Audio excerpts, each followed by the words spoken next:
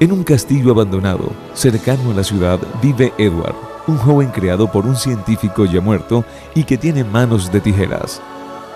El joven Manos de Tijera, dirigida por Tim Burton, del año 1990, protagonizada por Johnny Depp y Winona Ryder.